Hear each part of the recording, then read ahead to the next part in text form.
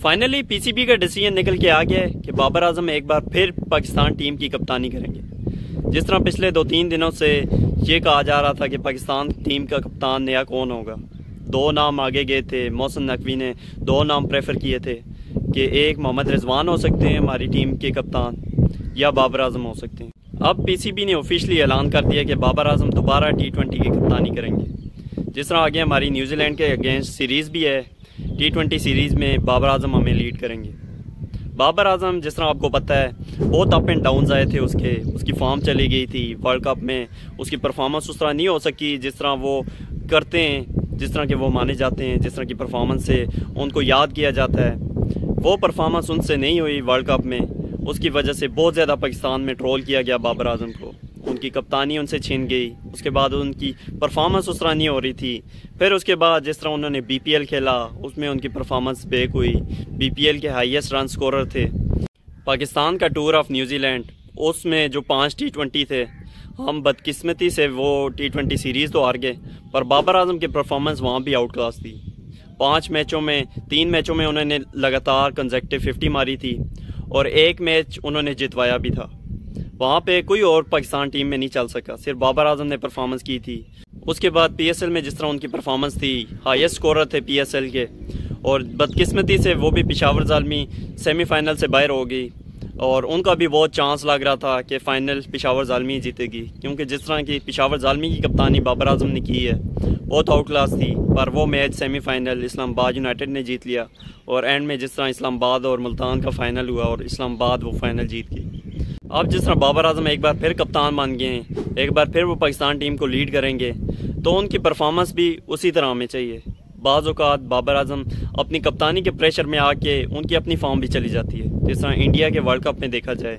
वहाँ पे बाबर आज़म अपनी कप्तानी के इतने ज़्यादा प्रेशर में आ गए ना उनसे अपनी फॉर्म चली है, ना उनसे अपनी परफॉर्मेंस हुई है, ना वो टीम को लीड कर सकें।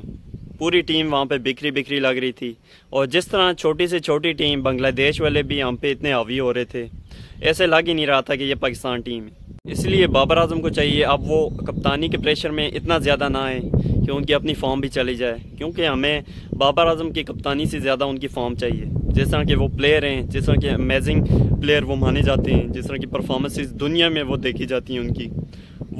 बाबर आज़म की ऐसी परफॉर्मेंसेज हमें वर्ल्ड कप में भी चाहिए, क्योंकि बाबर आज़म ही हैं जो पाकिस्तान टीम को लीड कर सकते हैं और उन्हें प्रॉपरली समझ सकते हैं। क्योंकि बाबर आज़म अगर एक तरफ़ देखा जाए, अगर वो आउट हो जाते हैं तो पूरी टीम बिखर जाती है। पूरी टीम कोई वो ऐसा प्लेयर नहीं है जिस पे अतमाद किया जा सके। जिस तरह हमारे अब इमाद वसीम आ गए हैं और मोहम्मद आमर आ गए हैं। उनकी वापसी से भी पाकिस्तान को बहुत ज़्यादा फ़ायदा होगा। जिस हमारी बॉलिंग लाइनअप देखी जाए, अभी दुनिया में स्ट्रॉन्ग बॉलिंग लाइनअप लग रही है। और इस बार पाकिस्तान का जो बॉलिंग कम्बिनेशन बना हुआ है, जिस तरह तीन फास्ट बॉलर हैं, तीन पेसर्स हैं हमारे पास, जो बहुत ही आउट क्लास हैं, नसीम शाह, शहीन शाह और मोहम्मद आमर।